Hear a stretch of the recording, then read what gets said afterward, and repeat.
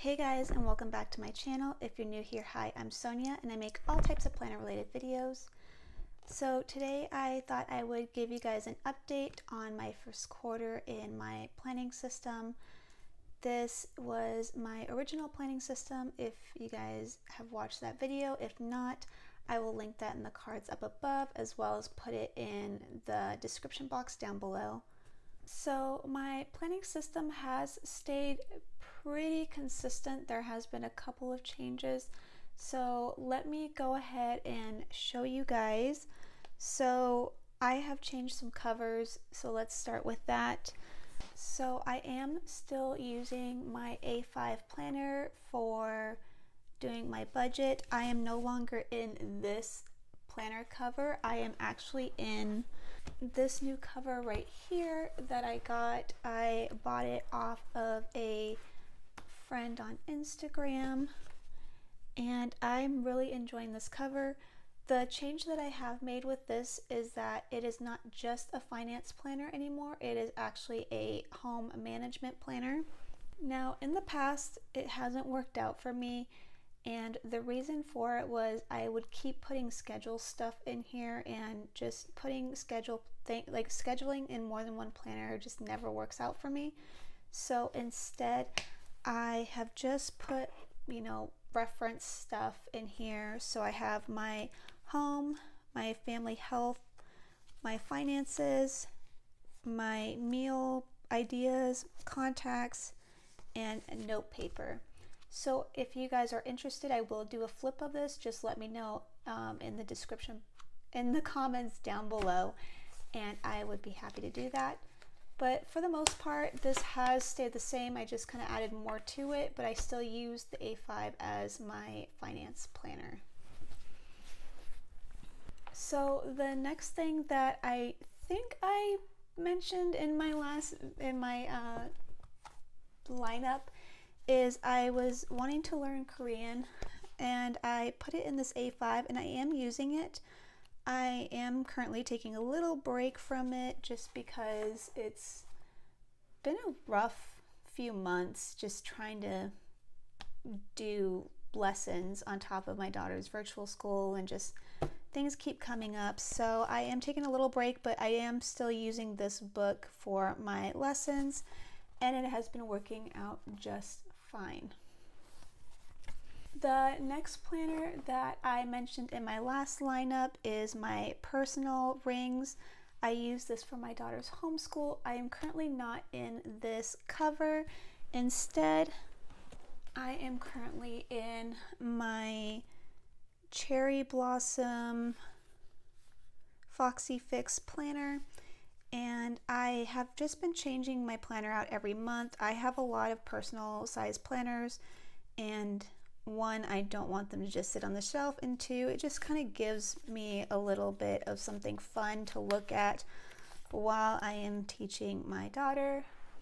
But it just has her um, months and weekly school stuff as well as like any tests and assignments that she has going on.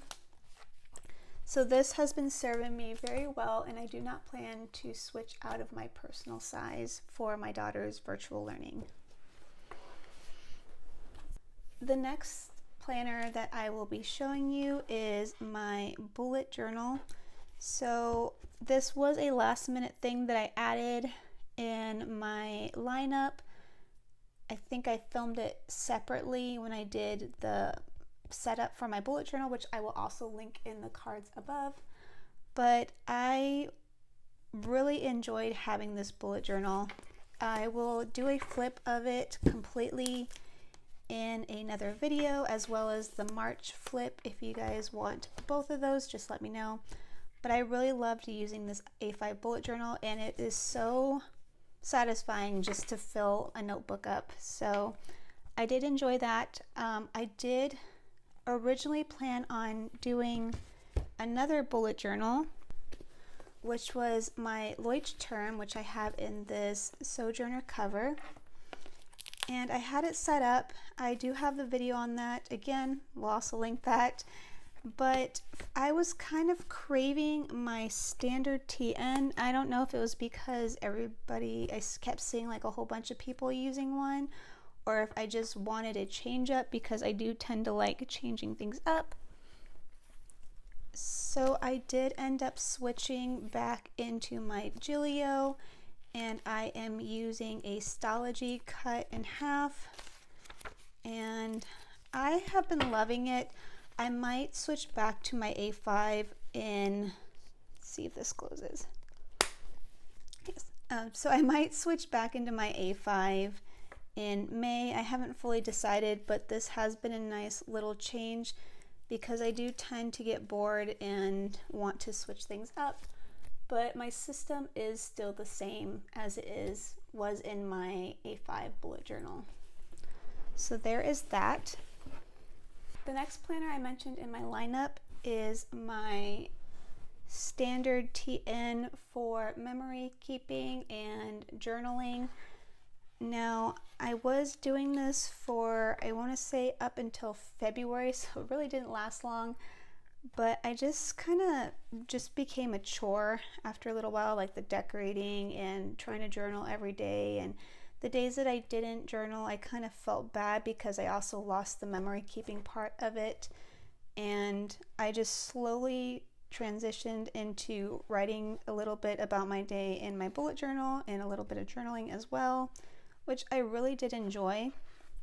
However, I also wanted to try a um, Hobonichi cousin and I love it. I really do.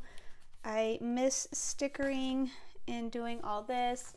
The only thing is that it started becoming just like how my standard TN was. It started becoming a chore. Um, I would write a couple things. It's kind of private, so I can't show you guys too much. I would write a couple things in my dailies and I would do like a sticker a day for my monthlies, and I did like my weekly um, memory keeping. And it's a lot of fun. It's just having the time to do it. It's I just can't seem to put a lot of effort into my other planning systems lately, if that makes any sense. Um, mostly my my bullet journal and has been like the go-to that I've been sticking to consistently Everything else just kind of fell by the wayside. So I'm hoping to get back into this. I did get the half year, I forgot what that's called, but I hope I can get back into this because it was really fun and I'm sure I would love looking back at this as the years go on. So I will continue to try to work on this. The other thing I've also been doing with the journaling is I have been doing a pocket size. This is in a um, Pele Studio and I have a Leuchtturm in here. This is private deep thought journaling. I don't pick it up all the time. I just kind of pick it up when I really want to write something that I just want to kind of get off my chest. I really love how tiny this is and how portable this is. And I'm not sure if I'm going to keep this in my lineup. I think I'm just going to hold on to it and just use it as I feel like it. I do kind of want to start journaling in here more and less in here so that way I have everything together, but we'll see. So there is that. The last thing I mentioned is my Leuchtturm bullet journal, which is supposed to be like my collections. I was using it as collections for a while. Like I have my goals and I have just like kind of like brain dump and all that stuff in here. I'm starting to get away from it a little bit just because I did make that home management planner, which has everything that's in here. And I the one thing I didn't like was that I couldn't move pages around and if I messed up I'd have to either try to fix it or just scrap it and then it just kind of got jumbled and it just doesn't doesn't work for me so I might just figure out a new way of using this so that I can still enjoy this planner because my friend did give it to me and I don't want it to go to waste. So that is that. This is my current planner lineup.